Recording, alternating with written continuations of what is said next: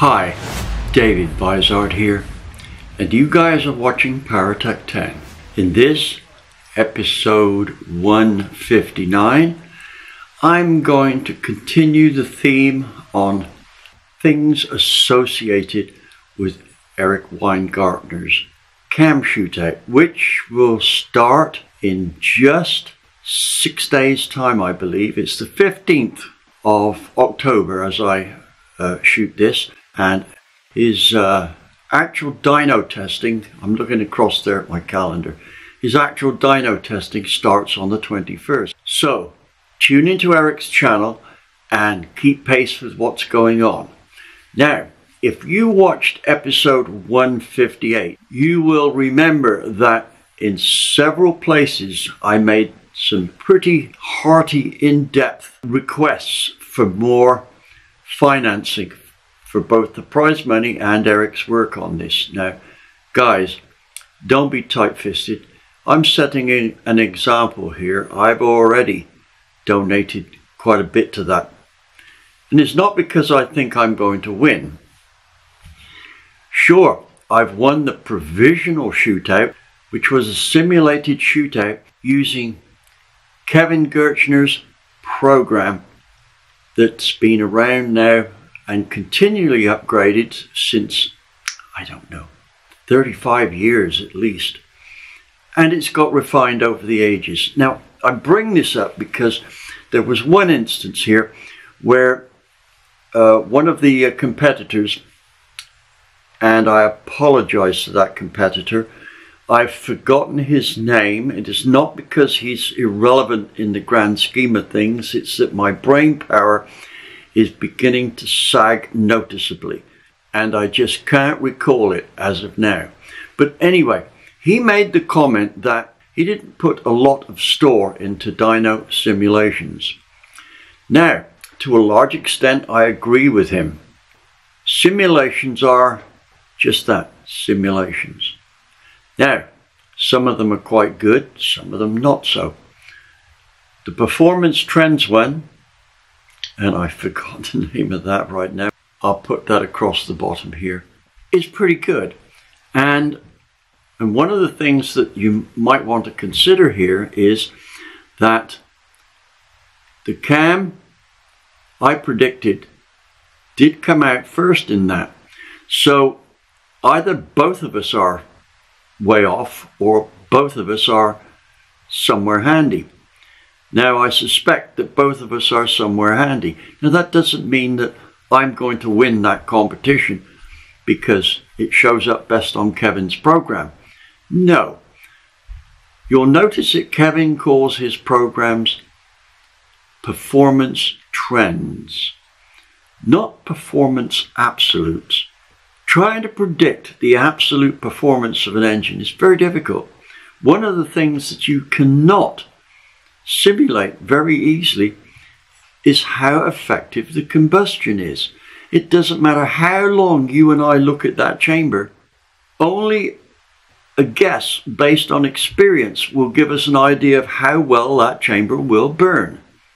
Now, I've seen lots of chambers and I've seen lots of engines on the dyno and I've experienced a lot there, so I'm not too bad at guessing that.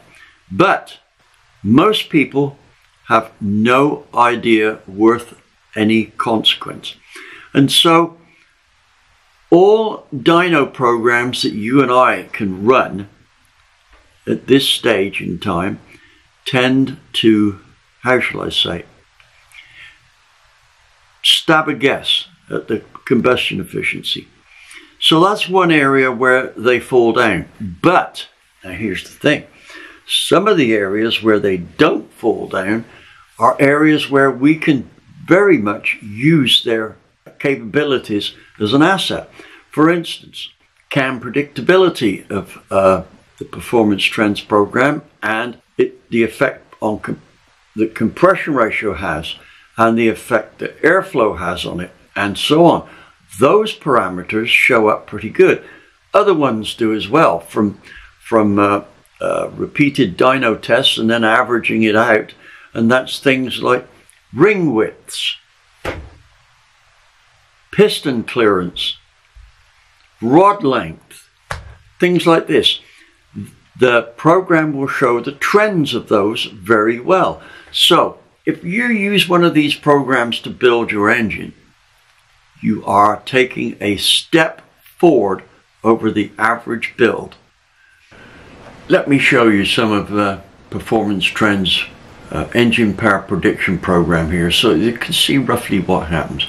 Now I've got to tell you, it's not cheap, but for what it does, it is cheap. Okay, here we go. Well, let's look at the basic example first. This is the Engine Analyzer Basic, as you see here, and it costs just a few cents under 140 bucks. It does cover pretty much everything you'll need as a beginner you'll be able to test lots of different engine combinations and see how they work. Like how big do you need the carburetor to be? What cylinder heads to use based on their flow capabilities, etc., etc.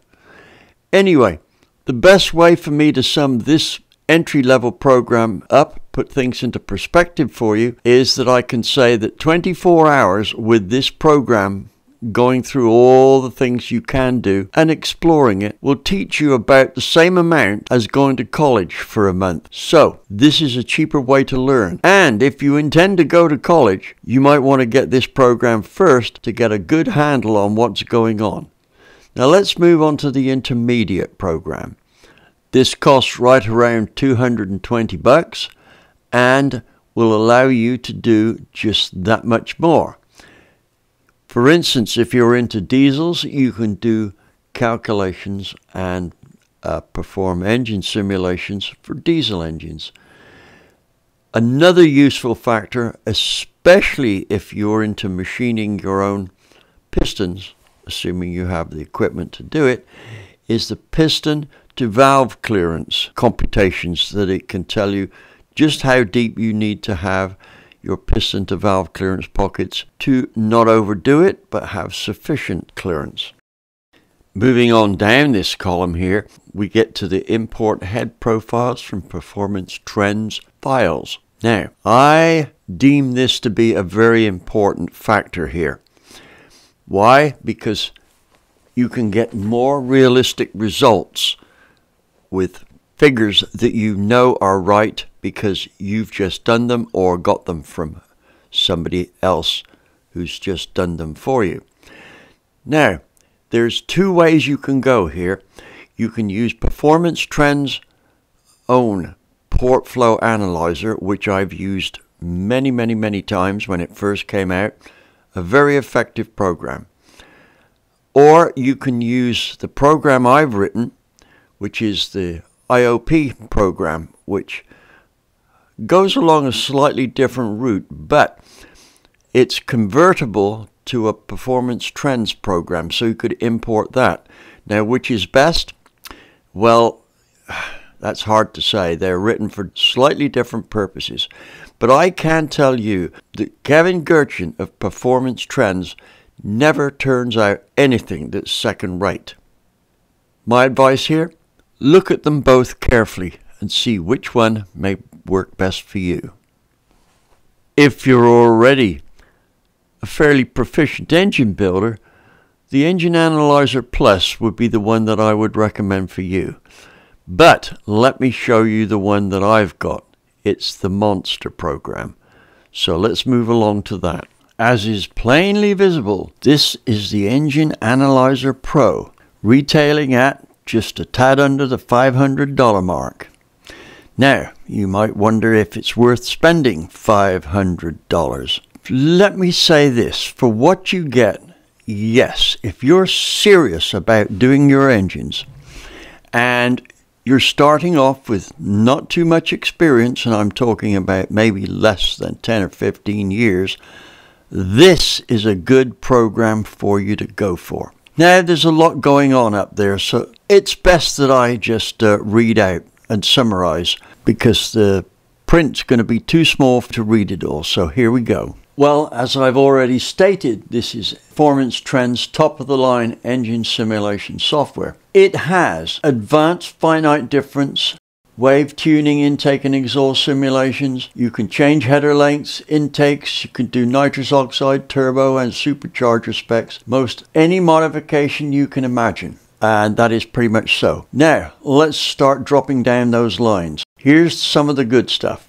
You can calculate data every 0.1 to 0.4 crank degrees for improved accuracy during predicting the effect of almost any engine modification. There's more inputs for trying more detailed engine mods. Many additional outputs allowing for more detailed analysis like valve toss, piston acceleration, piston thrust on wall, intake and exhaust flows and pressures, and much more degree by degree. You can use full valve flow curves. You can use cam profile files for more accurate cam simulations. And you can do chain calculations where you change things just a small amount at a time and it will keep repeating the tests with this small change and then draw out graphs. That is a great asset to have. Well, $500 is not exactly just a couple of lunch break coffees and donuts.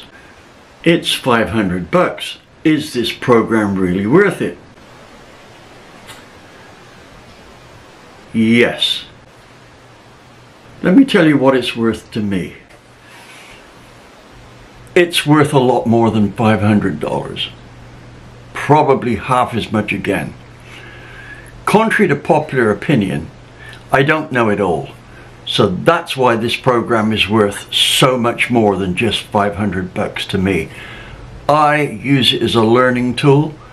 This, if I can call it that, sport of motor racing and high performance is one of the most complex hobbies to have. So it really can teach you so many of the nuances of the internal combustion engine.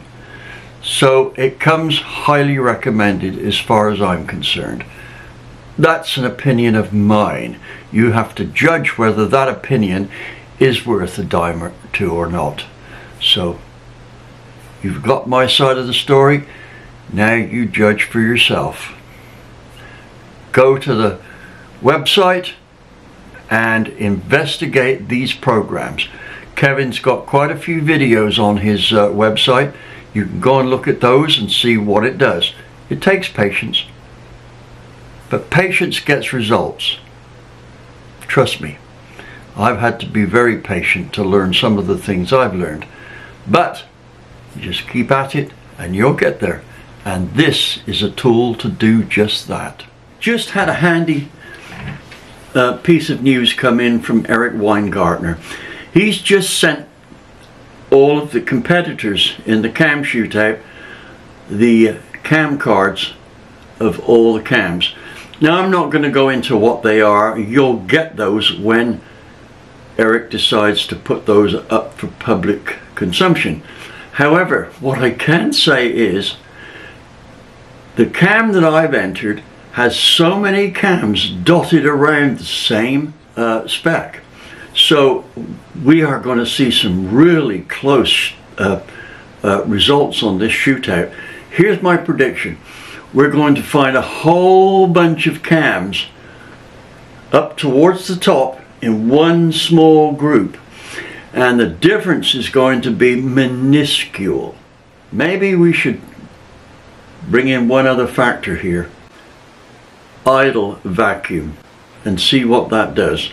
However, I think I'm going to, to have a go at picking the winning cam. We'll see how close I am. And uh, I will give you that figure in the next few days, certainly before the event. Now, let me go on here and finish this off with a few things I wanted to say about camshafts. Some of you are going to think that I'm fixated on lobe centerline angles. And let me tell you now, you're right. Why? Because for so many years, the lobe centerline angle has been relegated to a, a figure that is produced by calculating it out from the uh, valve events already selected. However, let me say this. that is, and I've said it before, that's totally wrong. One of the factors that we need to take into account here is the distribution of events within the opening of one valve, either the intake or exhaust. Now let's say we've got a duration this big. Well, we've got, we'll use the intake valve, we've got the duration that occurs in the overlap, the duration that occurs from here to the bottom, bottom dead center, and the duration from bottom dead center to when it closes the valves. Now ask yourself a question. Do you think apportioning that one, two, three segments and getting just the right amount of each one is important? Well, if you don't, you're terribly misguided because it is the critical thing. Like Brian Tooley said, the most important thing is when you open and close the valves. Well, yes, it is. And that is the summation of those three segments. So, how do you get those right? You start by making sure you get the lobe centerline angle right. So you can see the lobe centerline angle actually governs everything. I'm going to make a prediction now that the cams that do best are going to have a lobe centerline angle between 107 and say 110. Let's see if I'm right on that. Anyway, thank you for watching. Don't forget to donate towards Eric's cam shootout prize money and expenses. The prize money will be dished out at the end of the event here. However, Eric's expenses won't be dished out to anyone but him. They will continue after the event's run. And I can tell you now, what he's got so far is not enough. So if you're watching this after the event's over, just go over to his channel where he's got his sales uh, going on and either buy something or donate 10 bucks or whatever to help offset the very expensive cost of this test. Anyway, thank you for watching. I will see you shortly. Be ready for the next video.